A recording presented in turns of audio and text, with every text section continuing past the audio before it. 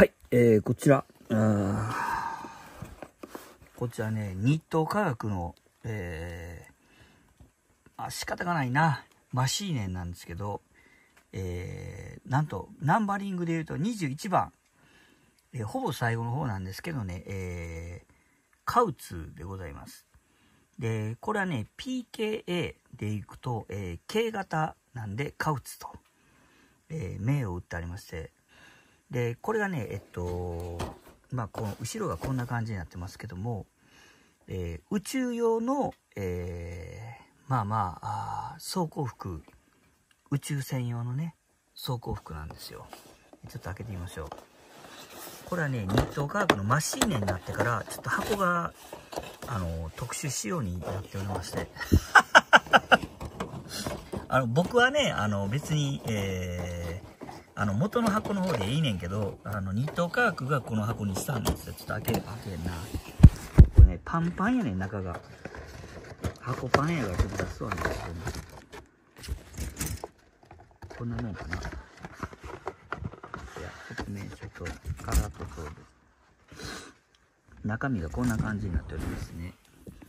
非常にね、あの、ざっくりと、はい。です。これがまず、えー、まあいいや、カラー塗装図。これ。マシーネになってるから、あのーうんまあ日東科学が売ってたんですけどね、えー、まあまあ中身こんな感じねむき出しやんっていう人おるかもしれへんけどあの日東科学のキットはあの基本的にねシュリンクがかかってるんでシュリンクがかかってるんでねあの中身自体はこうやってねベローンって入ってんのはあ、これ仕方がないと思います。ちょっとこれ長んでも。で、これが、あパーツね。これ80年代初頭に売られたキットでこれなんやで。すっごい凝った作りやで、これ。えこれ。これが走行パーツ。ね。これがパイロット。ね。今のあの、マシーネンやな。ウェーブのマシーネンの時はフィギュア新しくなってますからね。ですけど、これ。こ見て、フリーゲって書いてあるけど、カウチやね。バリエーションしてるからね、これ。こんな感じ。パーツが。ね。これもフリーゲって書いてあるんだけど、カウチやね。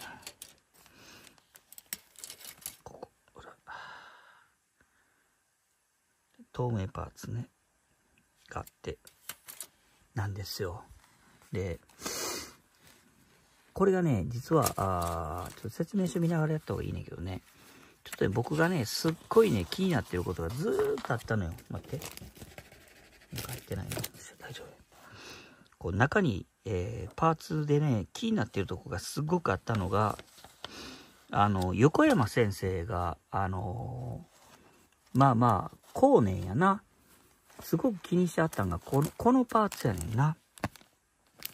このコイルスプリングを、この真鍮線で、えー、真鍮線中に入れて、まあ、動力パイプとして使うんですよ、この、えー、マシーネンは。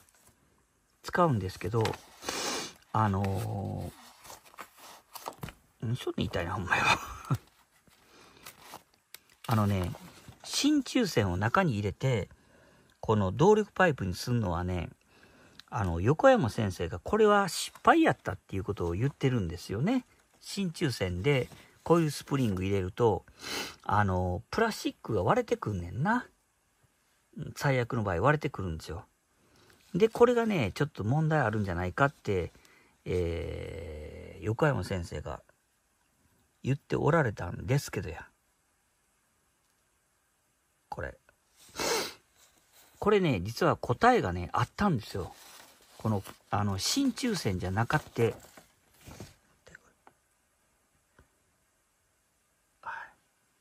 これね、あの、答えがあったんですよ。ここにあんねんけど。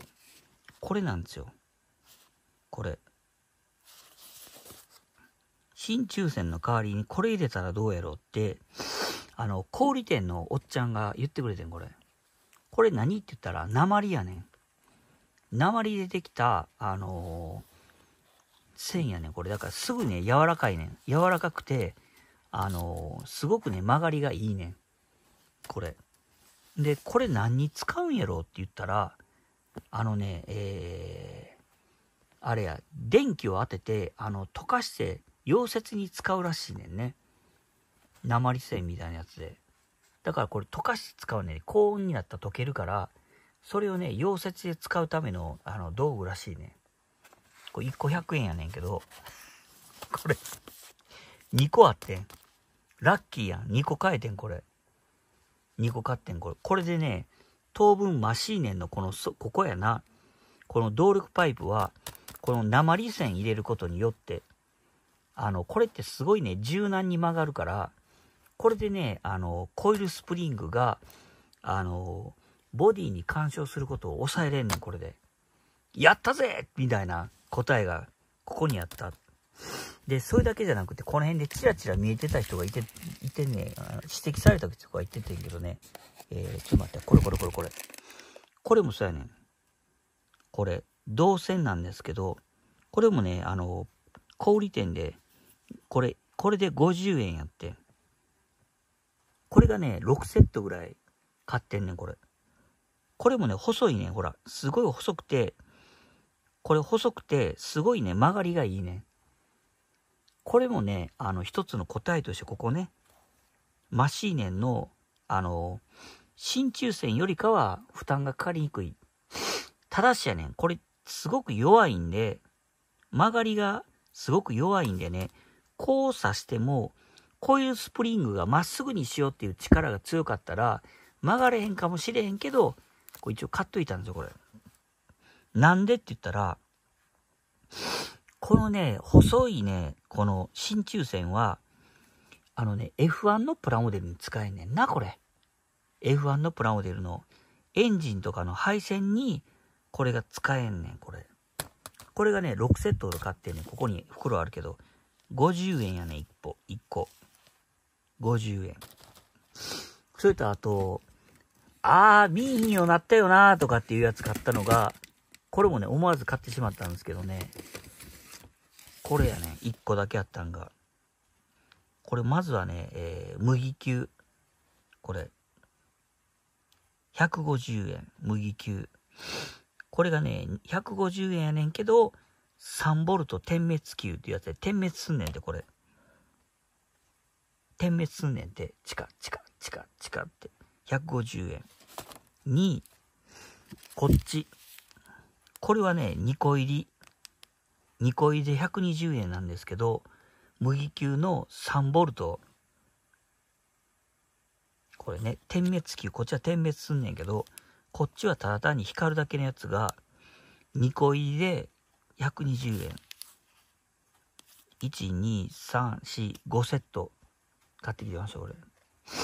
やったぜこれで、あの、これでね、ウェーブのノイスポッターやな。ウェーブのノイスポッターが、あの、点滅させることができんねん。目のとこが。ウェーブのノイスポッターやとか、あの、クラフェンフォーゲルやな。ノイスポッターとかクラフェンフォーゲルの、あの、目を光らすことができんねん、これで。あのね、えー、ニット科学でも SF3D オリジナルの時は SF3D の時は麦球が入ってんねんキットの中に。ウェーブがウェーブが売ってるやつにはねこの麦球がついてないねん。であとね、えー、このね麦球をねあの結構買ってる理由っていうのがあ東京丸い東京丸いの丸いのプラモデルも車のプラモデルもあの、ライトが光んねんな。東京マリーの車のプラモデルも、あの、ライトが光んねん。麦球があったら。で、その麦、麦球が売ってないわけよ。今。麦球が。で、えー、これ買った後、あれ？と思って、もしかしたらと思って Amazon で検索してんけど、Amazon で売ってるやつはね、100個入りらしいねんな。麦球が。100個入ってんねんで。100個も麦球どこに使うねんみたいな。まあ、1個あたりの単価そっちの方が安いねんけど、やっぱりこのね、言ってたわ、プラモデル屋さんで、プラモデル屋さん用にね、売ってるこういう、あの、材料みたいなやつがね、もう今、どこの会社も作ってないらしいねん、これ。これもそうやし、麦球。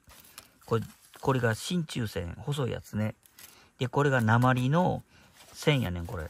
ハンダ付けに使うらしいねんけど、な、売ってないねん、言うて。で、お店行って、この前行った時にはで、爆買いしてきてんだから。これ。これ使えんで、結構。うん、いうところで、これね。えー、カウツ。こっちはカウツやったかな。そやな。うん。カウツ。マシーネンの方。マシーネンパッケージはね、僕はあんまりここに価値観を求めないんで、これ。うん。まあ、これちょっと作るように回してもいいかなと思ってるんですけどね。ここ書いてね、ほら。5番のクスタグスタフの肩アーマーが同封されています。必要に応じて使ってくださいとかって書いてあるけどね、ここ。うん、これよ。やっぱりね、えー、マシーネンはニット科学やで。これ。これ、ちなみに何ぼやったかな？ちょっと待って、箱箱箱箱。あー。この頃はもう1500円になってる、ほら。マシーネンでも最後は1500円ぐらいになってるやん。出た当時は900円ぐらいやった気してんけどな。900円か。えー、SF3 の時は900円か1200円やったはずやねん。これ。なあ、もう1500円になってんねん、この時。ほら。まあ今から考えたら安いけどな。うわ、もうそんなすんねや、みたいな。ところでございます。猫がちょっと落ち着いてるけど、